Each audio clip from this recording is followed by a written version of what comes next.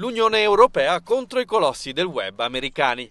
Secondo l'antitrust comunitario, il Lussemburgo ha concesso vantaggi fiscali per 250 milioni di euro ad Amazon, mentre l'Irlanda è stata deferita alla Corte di giustizia europea per aiuti di Stato illeciti a favore di Apple, stimati in 13 miliardi di euro. La Commissione ha adottato una decisione che considera i vantaggi fiscali di Amazon illegali rispetto alle regole dell'UE, con il risultato che quasi tre quarti degli utili della società non sono stati tassati, ha spiegato Margaret Vestager, commissario europeo alla concorrenza.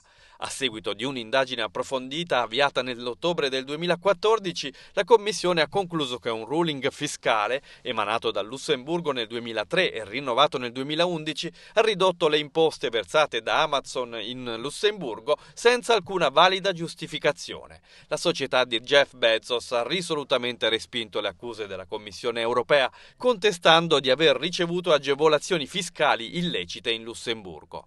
Quanto ad Apple, oltre un anno fa, nell'agosto del 2016 la Commissione aveva concluso che le agevolazioni fiscali concesse dall'Irlanda all'azienda fondata da Steve Jobs fossero illegali perché avevano sostanzialmente consentito al gruppo di pagare meno tasse rispetto ad altre imprese.